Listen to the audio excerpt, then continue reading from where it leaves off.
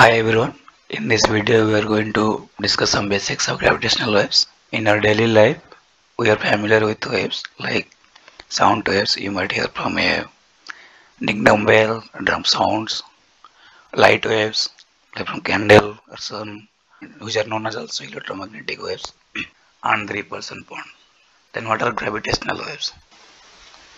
Well, it starts with Einstein when he described the gravity as a curve in space-time. For example, imagine space as a giant sheet of rubber. Anything with mass can cause the rubber sheet to bend. More the mass, more that fabric sheet gets bent and distorted by gravity. Another mass rolling on the depression will curve as if it is attracting to other mass. This is how your Earth Moon or Sun Earth system works or generally the whole universe works. But when this mass uh, making the depression moves, that sends out ripples on the space-time and which are known as the gravitational waves.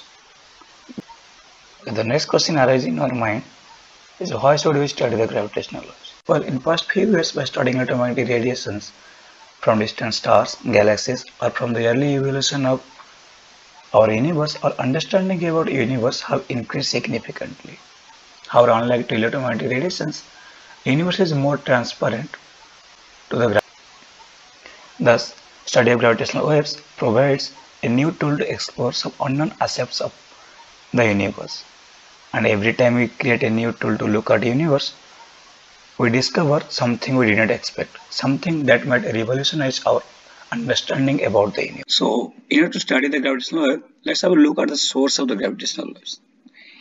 Well, even we dance together, we will also produce gravitational waves. These are too small and practical undetectable. But there are some astrophysical sources which will help to study the gravitational waves. For example, when a massive star ends up with, with, with fuel, it goes a supernova explosion and producing types, large number of gravitational waves or uh, gravitational bursts. And with the remnant, the remnant matter, is compact object, which might be a neutron star or a black hole, depending upon the star's initial mass. And while in the unstable state of this in uh, this neutron stars, like rotating neutron stars, or with any irregularity surface, um, they also produce gravitational waves. And also there could be uh, gravitational waves from the early evolution of the universe, more similar to the cosmic microwave background. And they can be treated as the cosmic gravitational wave background. However, the strong sources are there which they are produced from the merger when two massive black hole when two black holes or one black hole or neutron star or maybe two neutron stars are about to collide they produce a huge amount of gravitational waves. Now we have a brief idea about the sources of gravitational waves. Let's see how it affects when it passes through matter. Well among all the fundamental forces gravity is the weakest one. And so its effect is also extremely small but when the gravitational wave passes through matter, it compresses in one direction while stretching in the perpendicular direction, and the plane in which this compression and stretching happens is made perpendicular to the direction of propagation. As I mentioned, the effect is extremely small. Small means it is comparable like uh, the change happens in scale of atom comparing the distance between sun and earth.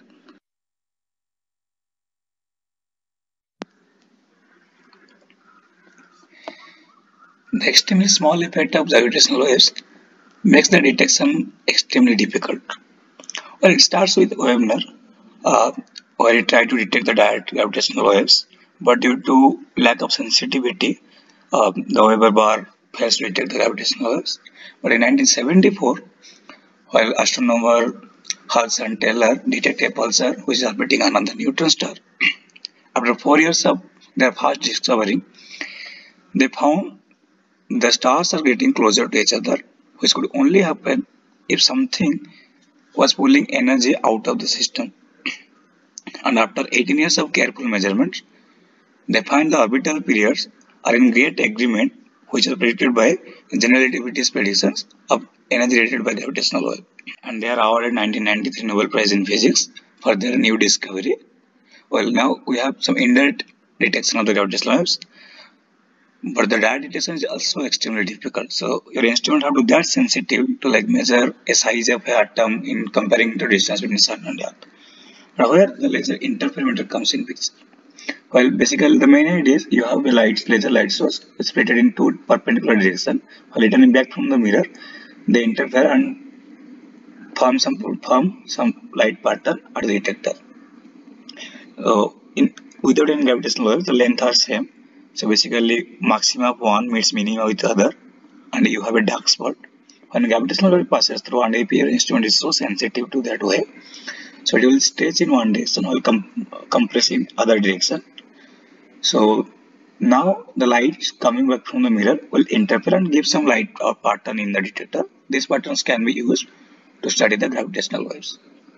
In September 2015, the Laser Interferometer Gravitational Wave Observatory, or more shortly LIGO, announced the first dye detection of gravitational waves produced by merging of two binary black holes and in 2017 from two colliding neutron stars. So the detection of gravitational waves marks the beginning of a new era and opens a new window to the gravitational wave universe. Okay, we have a brief idea about the gravitational waves and their source and their detections. I would like to thank you everyone for your kind attentions.